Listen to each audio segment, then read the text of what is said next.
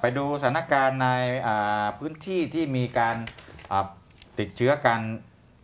มากในช่วงหลังๆเนี่ยนะครับ อย่างเช่น จังหวัดอุบลราชธานีอันนี้ก็ต้องมีการชี้แจงกันนะครับ เพราะว่าทางผู้ว่าการจังหวัดอุบลราชธานีนายพงษ์รัตน์พิรมรัตน์นะครับ ได้ออกคำสั่งปิดสถานที่เสี่ยงต่อการแพร่ระบาดของ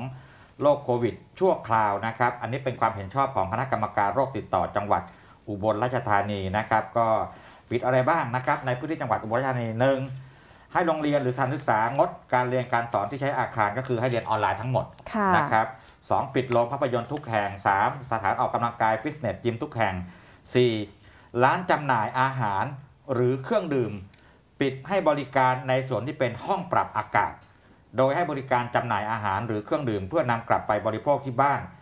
นะครับหรือว่าเทคเอา a y ส่วนร้านอาหารหรือเครื่องดื่มที่มีพื้นที่เปิดสามารถอากาศระบายถ่ายเทได้ดี ก็เปิดให้อ่า นั่งดื่มนั่งรับประทานที่ร้านได้อื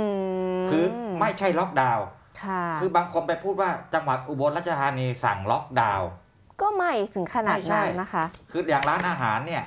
ร้านที่เป็นแบบเป็นห้องแอร์เป็นปิดอย่างเงี้ยนะค่ะอ่าเราเรารู้กันแหละว่าร้านห้องแอร์ร้านที่มันอับอับๆเนี่ยเขาให้ขายได้แต่ว่าซื้อกลับบ้านอืมแต่ไม่ให้นั่งทานที่ร้าน ส่วนร้านที่เป็นแบบเปิดโล่งๆอากาศถ่ายเทสะดวก ก็ยังคงให้บริการ อ่าจำหน่ายที่ร้านได้ตามปกตินะครับ แล้วก็เรื่องของการปิดลานกีฬาอะไรต่างๆ ก็เหมือนกับเวลามีการออกคำสั่งแบบนี้ทั่ว ๆ ไปนะครับ ไม่ได้มีการล็อกดาวน์จังหวัดแต่อย่างใดนะครับ ค่ะ เดี๋ยวพอคนเข้าใจผิดนะคะอ่าก็อาจจะแบบอ้าวถ้างั้นฉันไม่ไปอุบลอ๋อก็แล้วกันดี๋วเนี่ยเดือดร้อนเลย เดือดร้อคนบนะคะ เดือดร้อนหนักเลยเรื่องเศรษฐกิจในพื้นที่ด้วยนะคะ